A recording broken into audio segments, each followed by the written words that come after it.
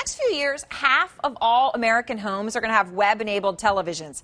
And tonight's idea guests, Shane Smith, CEO of Vice, and Tom Freston, who launched MTV, are out to make it the way you watch out front.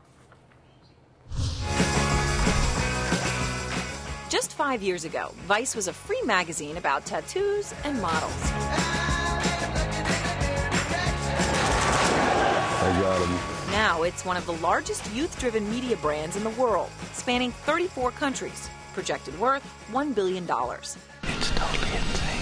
Vice Media has graduated from racy centerfolds to offbeat stories about the world's most infamous danger zones. Let's go, let's go, let's go, let's go, let's go, let's go.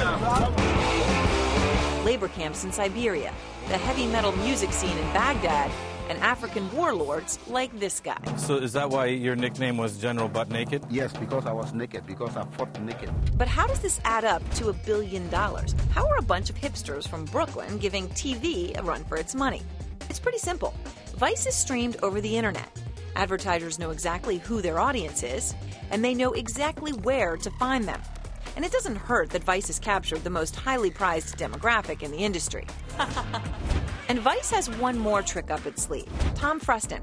The same formula Freston used to launch MTV is now the formula for Vice, That's how we do in Seattle. giving young viewers what they want when they want it. So there was a, uh, the cover of the New Yorker talking about YouTube and that YouTube is going to beat television, that we're no longer going to be using our televisions. Um, having bought a new television and been sold on some kind of LED something, I'm wondering if you believe that, that TVs are going away. Nothing ever goes away in the media business except like the eight track.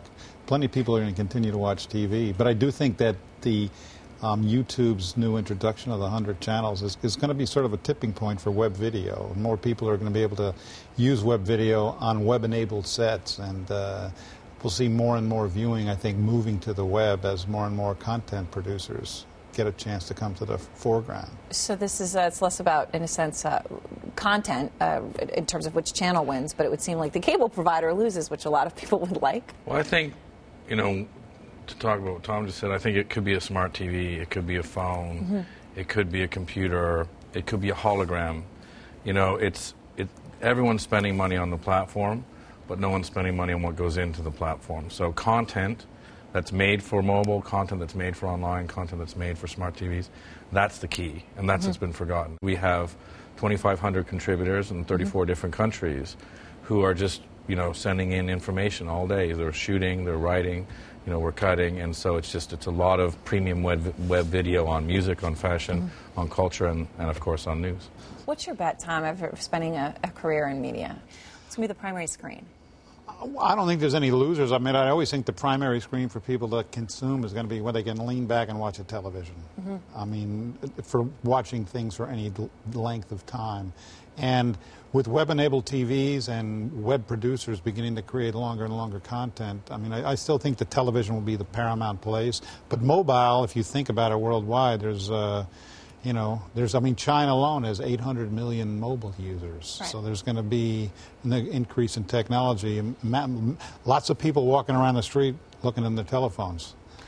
It also depends on where you're talking. We just got back from India, mm-hmm. and India doesn't have huge penetration of television and, or, or broadband for online, but they just got 4G, and they, they mm-hmm. have the $50 smartphones being pirated coming in from China. Right. And so now they're going to sort of, you know, skip going from sort of, you know, newspapers. They have so many newspapers. Newspapers. Well, it's India, the biggest my gosh, newspaper yeah. uh, uh, in the world, the biggest Yeah. uh, newspaper consumers, Yeah. and they're going to go f- straight from like 1800s newspapers, boom, to 4G, you know, broadband uh, consumption. So, so I think that mobile in, in, in Asia and in India is going to be Mm-hmm. primary.